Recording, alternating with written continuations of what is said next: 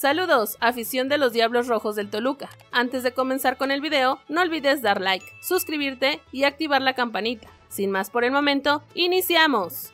Areto Ortega estaría en la mira de un equipo de Europa. Areto Ortega, defensor de los Diablos Rojos del Toluca, podría dejar la Liga MX el próximo mercado de transferencias, pues el mexicano de 21 años es seguido de cerca por el Fenerbahce, equipo de la primera división de Turquía. Según información del medio Fotomac, Aret Ortega sería una de las opciones que tiene el Fenerbahce para reforzar la central del equipo ante las posibles salidas de Kim Min y Attila Salai, quienes han llamado la atención de varios equipos en Europa. Se ha podido saber que el Fenerbahce se encuentra actualmente en fase de búsqueda y las negociaciones oficiales comenzarán en los próximos días, se lee en el portal. El factor que tendría a favor Ortega, si es que considera al Fenerbahce como una opción, es que su contrato con los Diablos Rojos del Toluca finaliza en el próximo mes de junio, por lo que ya puede salir como agente libre a cualquier equipo que desee. En el Clausura 2022, Areto Ortega disputó un total de 14 encuentros con la camiseta del Chorizo Power, en los cuales acumuló 1.260 minutos y consiguió una asistencia. América aprovecharía el mal momento de Toluca para llevarse a un crack. La directiva del América sigue en la búsqueda de refuerzos y aprovecharía el mal momento de Toluca para llevarse a uno de sus cracks y así tener un equipo más competitivo. Las Águilas levantaron el vuelo en las últimas jornadas, sin embargo, muchos jugadores han quedado a deber en el actual torneo por lo que les darían salida para traer a otros que sí puedan marcar la diferencia. Es por ello que la directiva aprovechó el descanso que tuvo el equipo por pasar de manera directa a la liguilla para poder buscar refuerzos y es por ello que se habrían fijado en uno de Toluca. El cuadro azul crema busca aprovechar el mal momento del cuadro escarlata para traer a Alexis Canelo para reforzar a su delantera y es que sus atacantes no han estado a la altura del equipo. Ambris tiene como prioridad fichar un portero para el Apertura 2022. Ambris no quedó contento con Luis García y Gustavo Gutiérrez y tendría planeado fichar a un nuevo portero para el Apertura 2022. A pesar de la pésima temporada que realizó Toluca, la directiva escarlata respaldó a Ignacio Ambris para el siguiente torneo, por lo cual se esperan una reestructuración en el plantel, ya que no se pueden dar el lujo de repetir su actuación del clausura 2022. Ambris ha solicitado algunos fichajes para esta ventana de traspasos,